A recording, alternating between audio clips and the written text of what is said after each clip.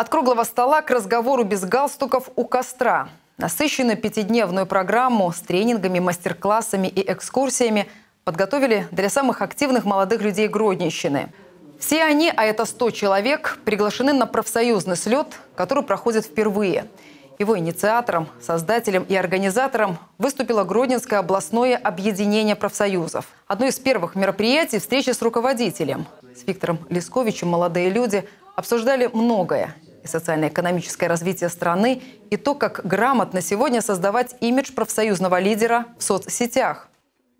Это раз, во чтобы они были уведомлены, да, Чтобы ваши подписчики перешли Чтобы в любом случае подписчики, да, подписывались. Мы сделаем все возможное, чтобы они по окончанию форума не остались там сами с собой в стороне. Мы будем им помогать, наблюдать за ними, включим самых лучших в кадровый резерв профсоюзный, создадим банк э, молодых людей, которых мы обучаем. Таким образом мы будем готовить себе смену профсоюзный актив, который сможет работать в последующем не только в профсоюзных организациях, но и на других ответственных должностях в народном хозяйстве. Тезис «За молодежью будущее», он не банальный, он идет от жизни. Стать преемниками и быть профессионалами.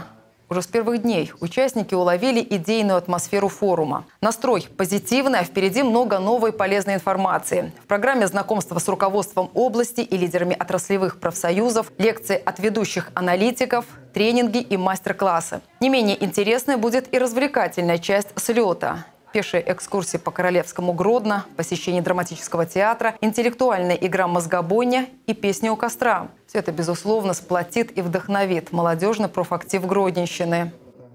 Очень здорово, что возникла такая идея, такая инициатива Виктора Андреевича создать, э, аккумулировать всю молодежь профсоюзную для того, чтобы она могла между собой э, каким-то образом взаимодействовать не только на данном мероприятии. У нас создано ряд групп, где, я думаю, мы в последующем также продолжим общение и где мы будем просто делиться своими какими-то новыми идеями, новыми фишечками.